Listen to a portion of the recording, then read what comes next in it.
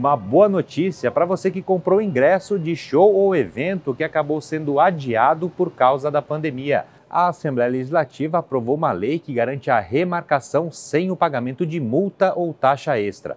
Para isso, é preciso agendar uma nova data entre as opções oferecidas pela empresa organizadora. A regra vale para eventos previstos até 60 dias após o término do período de calamidade pública.